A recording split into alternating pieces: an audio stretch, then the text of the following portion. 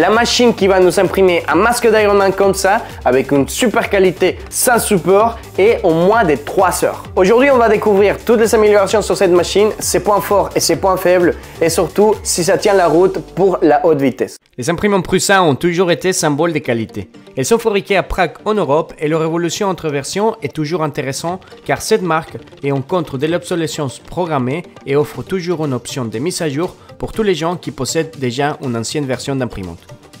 Je commence par déballer la machine. J'ai reçu la version préassemblée et au niveau d'installation, il n'y a pas grand chose à dire. On la sort de sa boîte et elle est direct prête à l'emploi.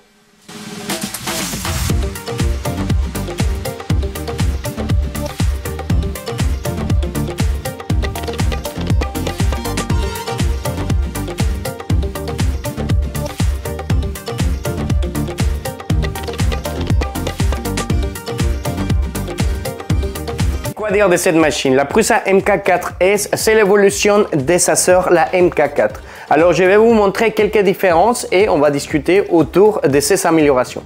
Comparé sur la MK4 normale, c'est que les pièces déjà ça a l'air plus robuste. On a des morceaux qui sont dans un autre type de filament. L'écran est différent et surtout la partie des ventilations elle est pas mal parce que on a un grand ventilo, ce qui va nous permettre de pouvoir imprimer plus rapidement et avoir une meilleure qualité. Alors on va passer à l'impression, mais avant tout ça, on va faire la self-calibration ou la calibration automatique de chez Prusa. C'est très simple et c'est un processus étape par étape qui va vous guider pour savoir si la machine fonctionne très bien. Ça va nous prendre 5 minutes et on va le faire ensemble. Une des nouveautés sur cette machine est l'application de Prusa. Oui, enfin, nous avons une application pour suivre l'avancement des impressions. Nous avons aussi un accès à Printables et toute la bibliothèque des fichiers 3D. Pour configurer le Wi-Fi, c'est très facile et très malin de la part de Prusa. Il suffit d'approcher le téléphone à la machine et tout ça se fait automatiquement. Le paramétrage continue avec la cellule de force, cet capteur qui va garantir toujours une première couche parfaite. Pour finir, je charge le filament pour tester les capteurs et je suis prêt pour lancer les premières impressions.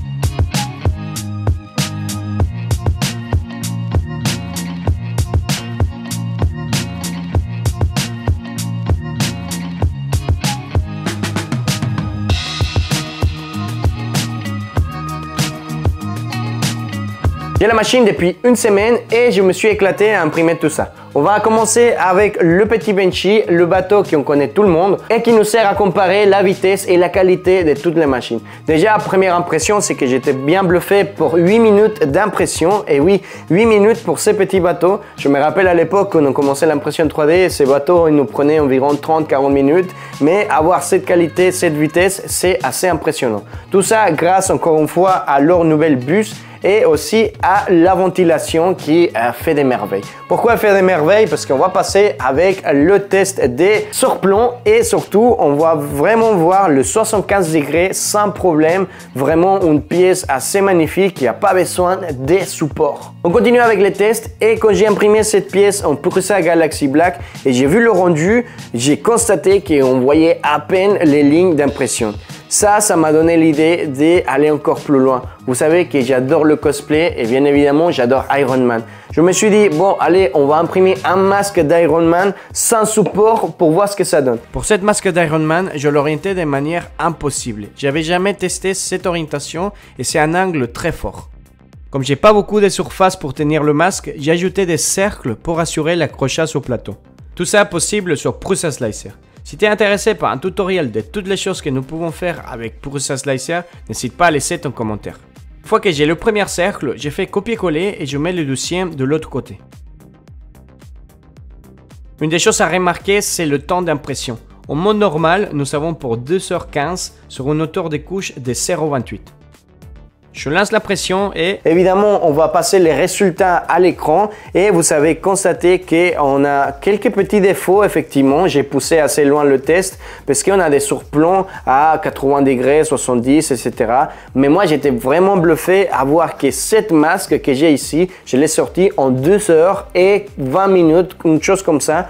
Franchement, c'est propre, c'est quelque chose qui va nous servir par exemple à faire des ateliers de peinture ou l'amener en convention pour montrer aux gens et avoir un masque comme ça en 2 sur 20, franchement, c'est top. Ici, nous pouvons constater que la Prusa a réussi à imprimer la pièce sans support mais avec quelques défauts.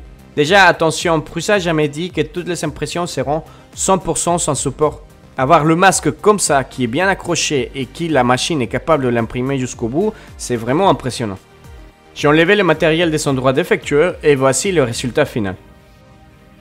Alors, de l'autre côté, j'ai continué à faire mes tests et on a cette masque-là en 3 heures, 3 heures 10 et franchement, c'est top. On a encore moins de défauts sur la partie des surplombs, chose qui m'a vraiment plu. Et moi, comme je fais beaucoup de post-traitements, de toute manière, je vais mastiquer et vous allez voir le rendu. Mais déjà, cette masque-là, c'est bluffant. On l'a imprimé avec Polymaker Gold Silk, si je me rappelle bien. Et une des choses que j'ai bien aimé sur ces masques, c'est qu'on va pas noter les différences couleurs. Je ne sais pas si ça vous est arrivé qu'on imprime en silk et de temps en temps on voit des lignes qui n'ont pas la même tonalité de couleur. Ça c'est dû au refroidissement et sur cette euh, masque là que j'ai imprimé, on voit pas vraiment ces changements de couleur et ça aussi c'est une des promesses tenues par Prusa et cette machine. Et évidemment avec cette machine on peut imprimer des pièces encore plus techniques comme euh, le filament TPU qui est flexible et on le connaît bien pour faire euh, des petites pneus ou des choses comme ça.